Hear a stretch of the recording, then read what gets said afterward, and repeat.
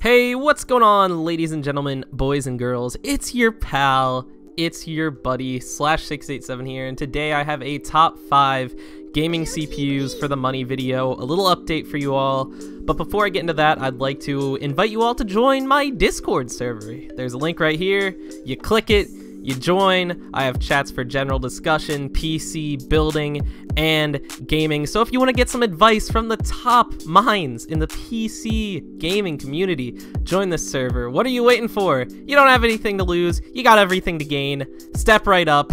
Come on, buddy. You know you want to.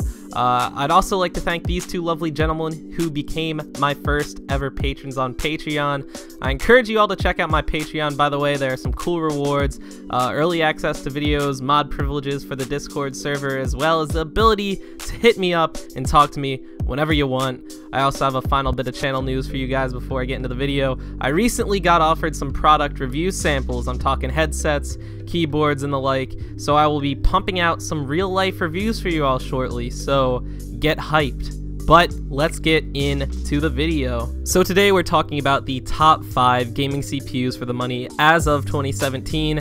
Recently we've seen some controversy surrounding Intel's business practices as far as compatibility between different CPU sockets goes, and we've of course seen AMD's Ryzen line thrive in the wake of all this, so this list is going to reflect that. AMD is doing real well, and in more and more situations, it makes sense to go with AMD. Uh, but let's get into the video, starting off with the first CPU. These first two CPUs are actually pretty damn close to each other as far as price to performance goes, so kind of think of them as uh, 5A and 5B. But the first CPU is the Intel Pentium G4560, and if you know anything about PC parts, you shouldn't be very shocked by this first choice. The Intel Pentium G4560 is a revolutionary CPU that's low-key made the i3 line obsolete. It's pretty much the same thing as an i3 with two cores and four threads, but it does have a slightly lower clock speed, and I mean slightly lower. This thing still runs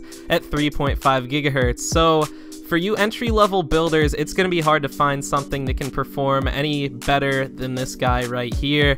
1080p gaming is definitely the target audience here, and if that's all you're looking to do and you aren't looking to do any editing, productivity type of work, then this CPU should be plenty and you should be in good shape. Oh, and uh, this guy also only costs $85, just a little bit less expensive than this next CPU. The next CPU, or 5B as we'll call it, is the Ryzen 3 1200. This is the lowest rung on the totem pole of the Ryzen CPU lineup.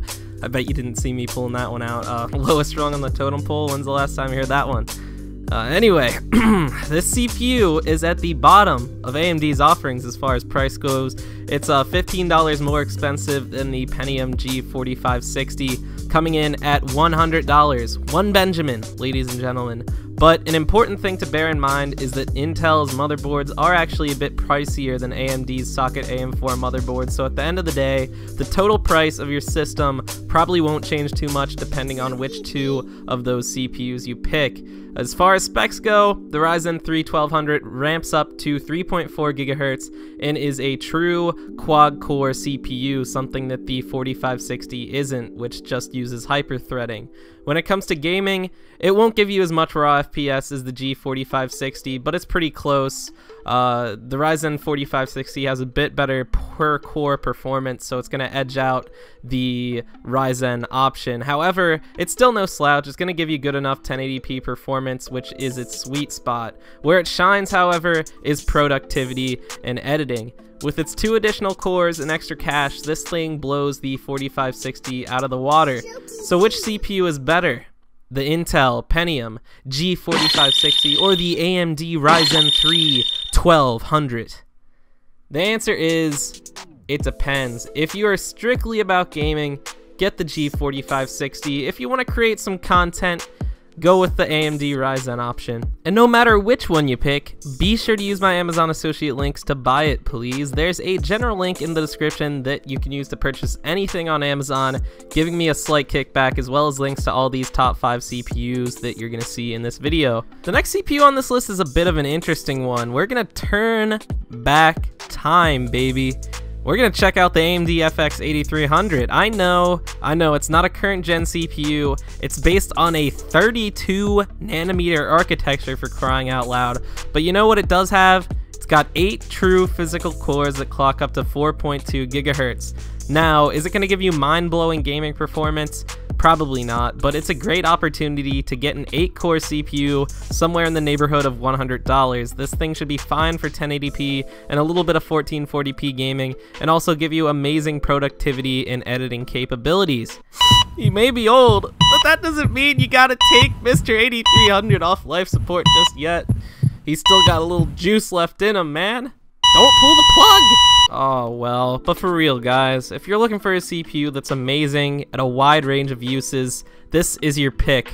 The socket may be outdated as hell, but if you're trying to live for the moment and not worry about upgrade paths just yet, then this is a good choice for you.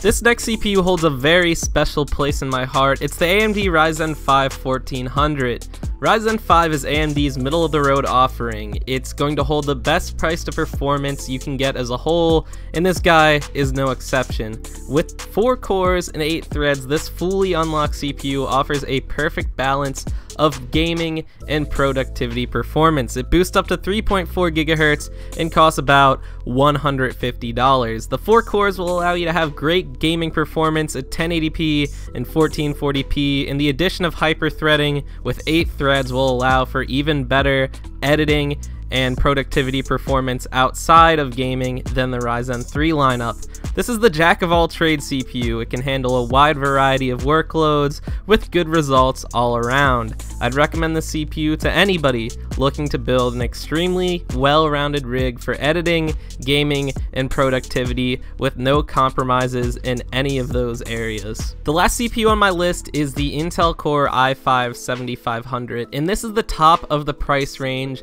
of this list list because really anything in price above this is not the best choice as far as a gaming build is concerned if you're on a strict budget. If you're on a strict budget, it really doesn't make sense to go with an i7. If your primary goal is good gaming performance, you should put that money towards a better GPU, especially now that GPU prices are so overinflated, rather than towards an i7. You're gonna get better FPS for the money, and that's the end goal.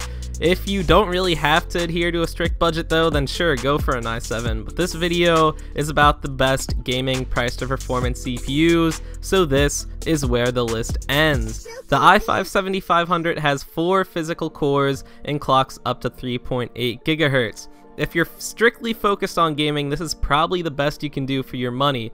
The per core performance is great. If you're looking for a great gaming performance at 1440p and you maybe even want to dabble in some 4K, this is the CPU for you. It costs about $180 and for the money, I'm gonna declare it the best available. Now Ryzen 5 is pretty damn close and either would be a great choice for a very well-rounded gaming build, but right now Ryzen 5 is still lagging behind just a little bit in gaming benchmarks by a slight slight margin compared to Intel's i5 lineup, so that's just where we're at right now.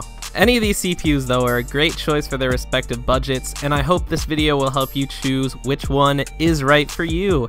And whenever you do choose, please use my Amazon associate links in the description when you do decide to pull the trigger. It helps me out a ton, you can use the link to buy anything, and it makes these videos possible.